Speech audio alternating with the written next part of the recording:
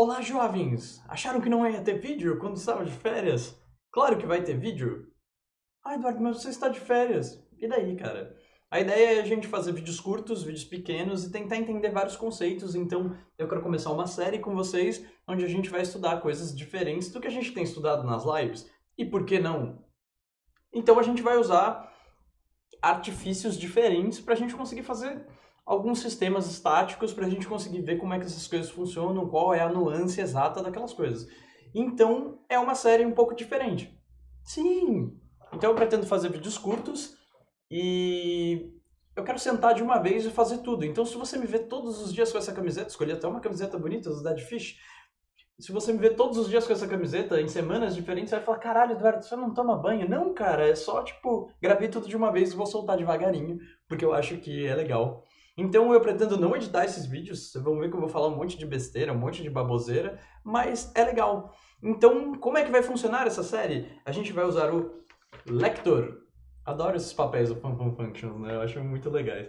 Então a gente vai usar o Lector, e o Lector é um gerador de páginas estáticas. Ele também foi criado lá no começo pelo Armin, claro que é mantido pela comunidade. O Armin é o cara que também começou o Flask. Então a gente vai usar o Lector. E por que vamos usar o Lector? Porque o Lector trabalha bem com páginas estáticas. Então, não vai ter banco de dados? Não vai ter aqueles sistemas muito doidos de roteamento? Não. Por quê? Porque o Lector vai resolver essas coisas pra gente.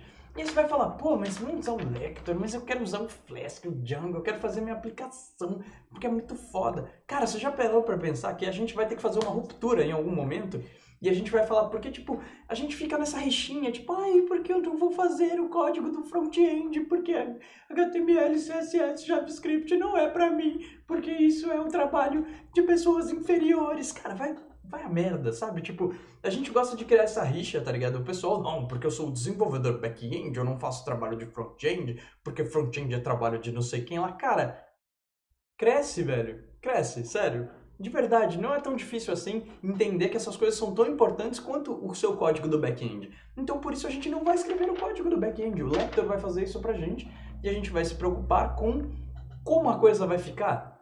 Isso é ótimo. Então, você vai codar, você vai fazer suas coisas, você tem suas linguagens lá, mas não tem Python, não tem código no sentido de aplicação. Então a gente vai ver que, pô, tem coisas incríveis para se fazer fora desse mundo.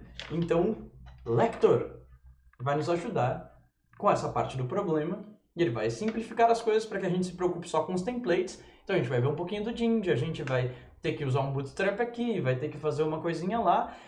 E a gente vai ver que a gente consegue desenvolver aplicações legais, a gente vai fazer um, um blog, esse é o objetivo, e a gente vai conseguir fazer tudo isso sem precisar fazer Python. Mas a gente vai codar, porque a gente vai codar coisas que são tão importantes quanto as coisas do front. A gente vai ver como é que funciona o CSS, como é que a gente vai fazer aquilo, porque essas coisas são importantes tão quanto a aplicação do back-end.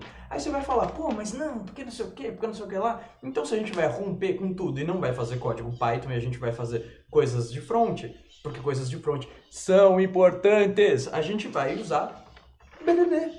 Por que BDD? Ah, porque a gente não tem teste unitário para fazer, porque a gente não tem aplicação nesse sentido.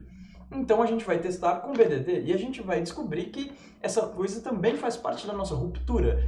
Como assim faz parte da nossa ruptura? Cara, eu tô cansado dessa rixa de porque, ai, quem faz as coisas do front-end é menos desenvolvedor do que eu, ou quem faz testes é menos desenvolvedor do que eu. Cara, então a gente vai aprender a testar, a gente vai resolver problemas de coisas de front e dane-se você, a sua opinião, o seu preconceitinho, sabe? E por isso a gente vai usar e vai aprender o GitLab CI, porque a gente tem que fazer o deploy disso e está na hora da gente aprender a usar ferramentas novas que fogem um pouco do escopo do GitHub.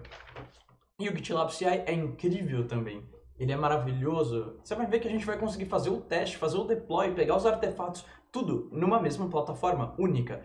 E isso é mágico. Então, você vai aprender a fazer coisas estáticas com Lector, a gente vai testar comportamento com BDD e a gente vai fazer deploy testes automatizados. Então a gente vai aprender todas aquelas skills que você acha que são desnecessárias e são problemas de outra pessoa. É isso que trata essa série, é uma série de ruptura. É claro, estamos de férias, não precisamos nos preocupar com isso.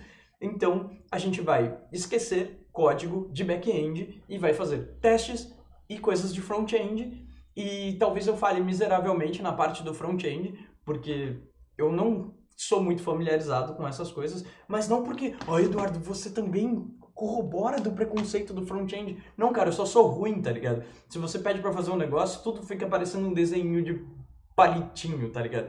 É isso, mas a gente vai tentar.